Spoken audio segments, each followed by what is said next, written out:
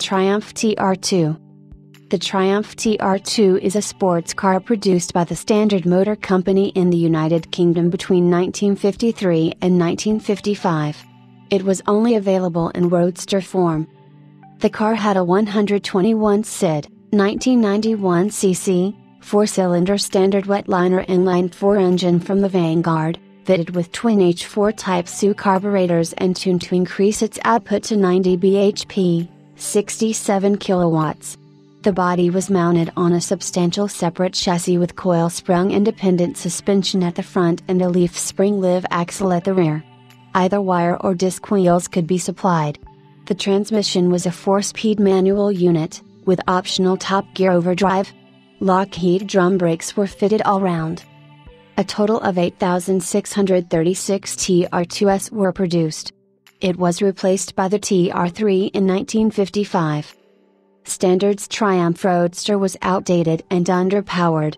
Company boss Sir John Black tried to acquire the Morgan Motor Company but failed.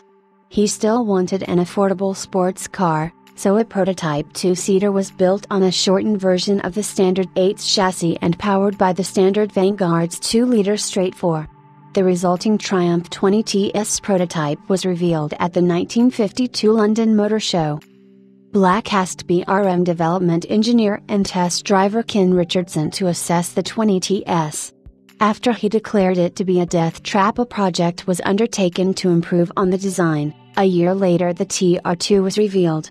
It had better looks, a simple ladder type chassis, a longer body, and a bigger boot. It was loved by American buyers, and became the best earner for Triumph.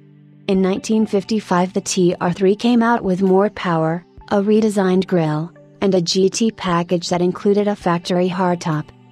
As of 2011, there were approximately 377 licensed and 52 SORN TR2S of the 8,636 TR2S produced registered with the DVLA in the UK. In the United States, 1,800 were known to survive.